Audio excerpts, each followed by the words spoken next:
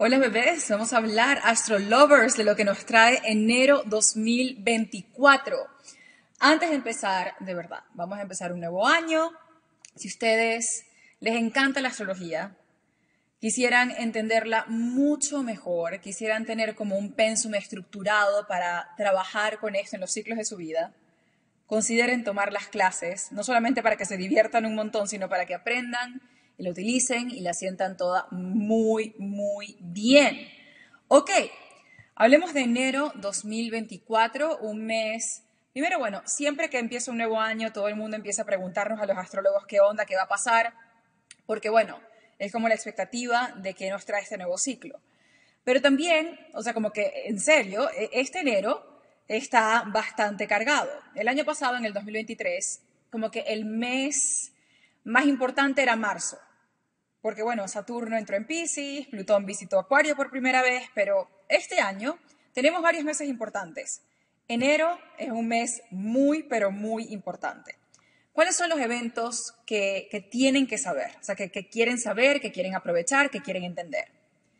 Número uno, el primero de enero, o sea, el primero, empezando el mes, Mercurio arranca directo. Y ese mismo día, Venus en Sagitario tiene cuadratura a Saturno en Pisces. Mercurio directo. Siempre les digo, yo sé que esto es algo que a lo mejor consideran muy técnico, pero si quieren entenderlo, necesitan saberlo. Cuando Mercurio arranca directo, está estacionario. O sea, a mí, y yo siempre se lo digo a mis estudiantes, a mí no me sirve que Mercurio esté directo. No me importa que Mercurio esté directo.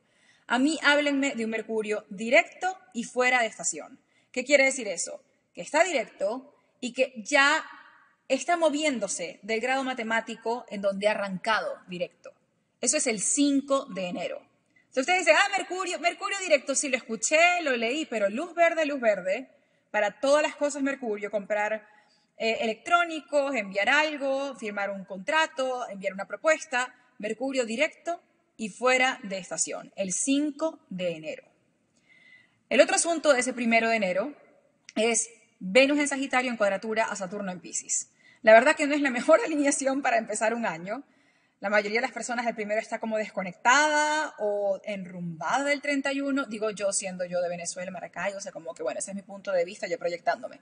Pero esa cuadratura es un gran freno de mano, como un frenazo de no más excesos, eh, no más actuar sin pensar, y en cuestión de relaciones, porque Venus tiene que ver con vínculos, es como, ok, vamos a ver qué, qué está pasando aquí. A veces uno tiene que ponerse límites a uno mismo y decir, ya va, no puedo seguir dando, o en esta expansión de dar de mí, cuando no me estoy sintiendo muy estable en este vínculo. Entonces el año empieza como con un baldecito de agua fría, con un ya va. Aquí hay que, hay que calmar los excesos, hay que calmar la, la glutonería. Y poco a poco, con Mercurio directo y fuera de estación, como que vamos entendiendo, nos vamos asentando, vamos saliendo de esa neblina mental que quizá de mucha fiesta, de mucha rumba. Pero llega el 4 de enero. Y el 4 de enero, Marte entra en Capricornio. Marte visita cada signo cada dos años, porque eso es lo que le toma dar la vuelta al zodíaco. Pero Marte en Capricornio es algo a lo que tenemos que prestar atención. Porque Marte en Capricornio está sabroso, está divino.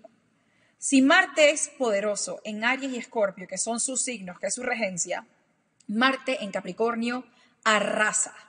¿Cómo es Marte en Capricornio?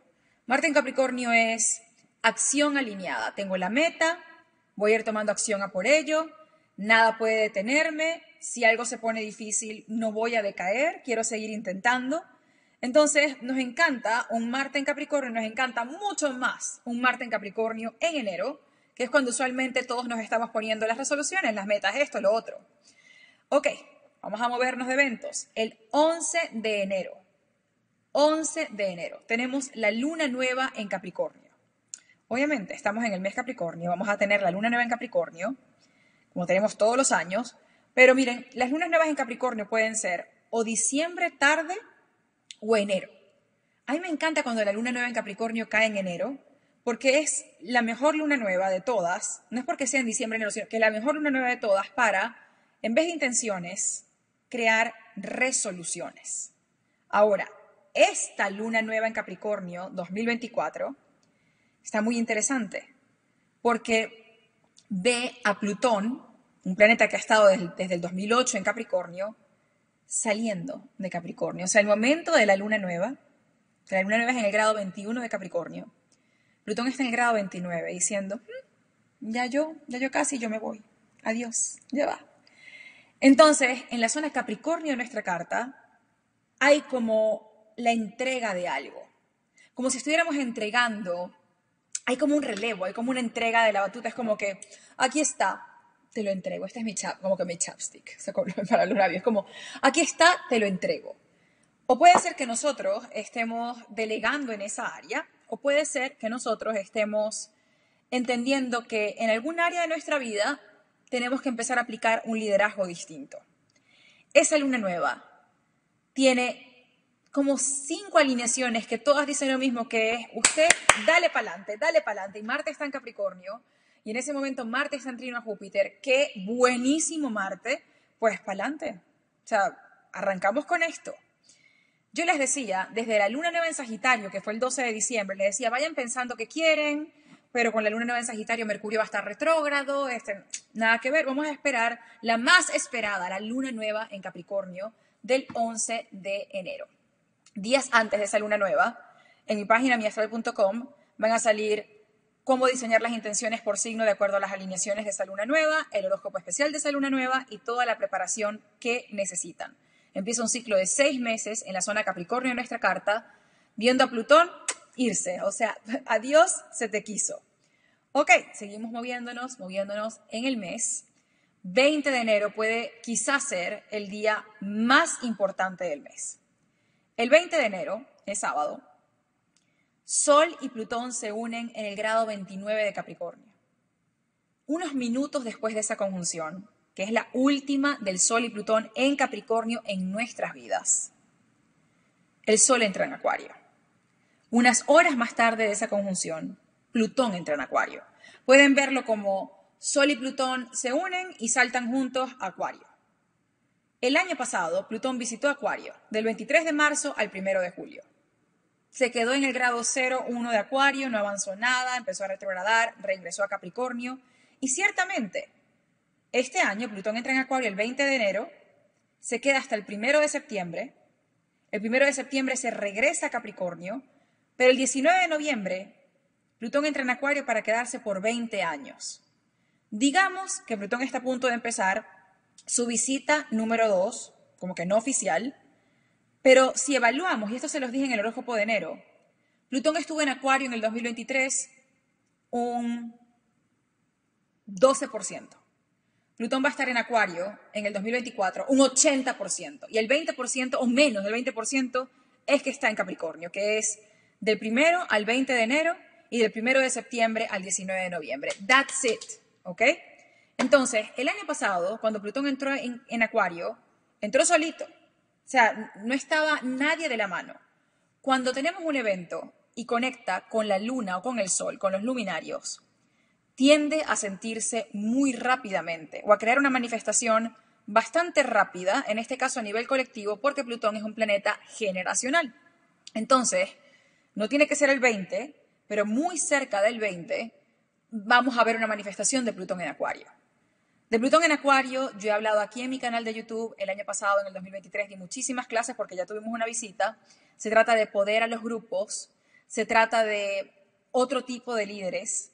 Plutón en Capricornio era mucho de la élite, de quienes tenían poder, ahora el poder pasa a mano de otras personas y quizás no lo vamos a ver completamente, sino hasta que Plutón esté bien, bien entrado en Acuario.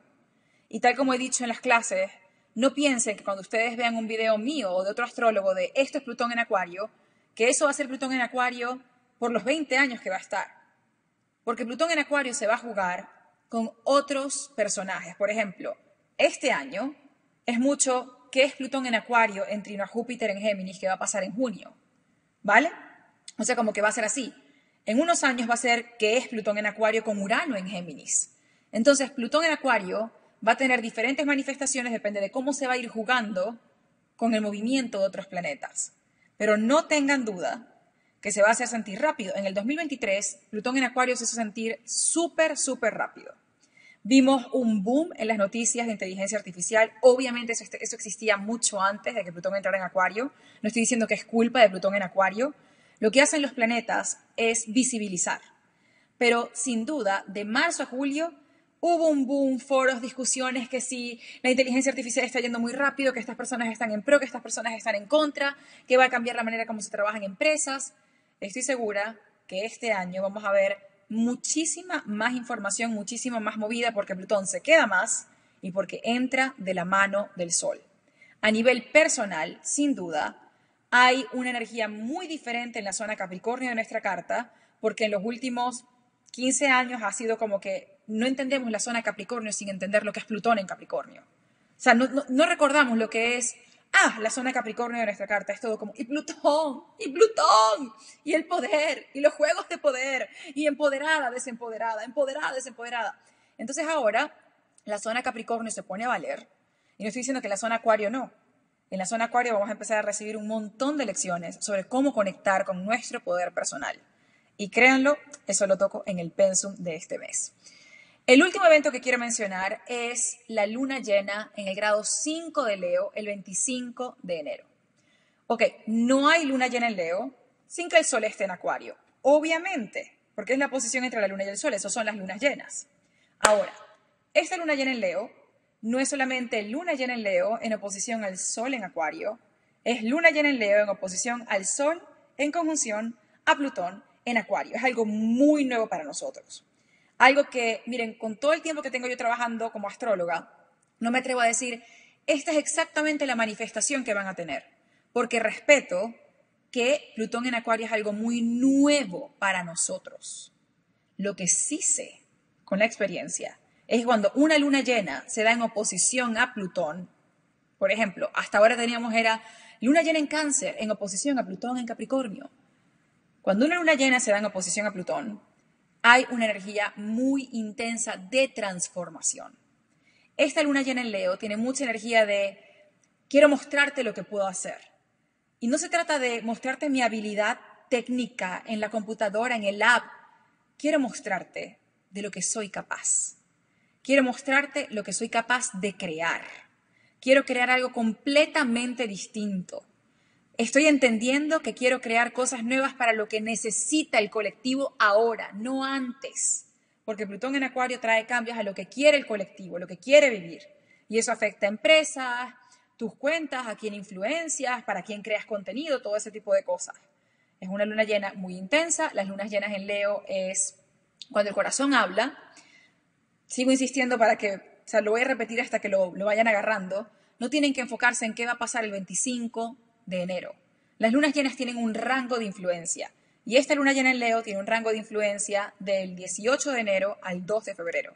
Entonces, en ese periodo de tiempo vamos a estar sintiendo bastante esto del ingreso de Plutón Acuario y esta luna llena que creo que marca para cada uno como un momento intenso al final de enero. Eh, tiene mucho que ver con el amor para algunas personas porque, bueno, Leo es el corazón, pero para otras personas tiene mucho que ver con lo que tienen ganas de crear y cambios radicales que quieren hacer a su vida. Así que bueno, espero que este, e, esta serie de eventos de enero, que obviamente enero tiene muchas más cosas, pero aquí contándoles los más importantes, tengan una muy buena idea. Y les espero en mi página miastral.com con el horóscopo del mes y otras clases si quieren profundizar. Un abrazo.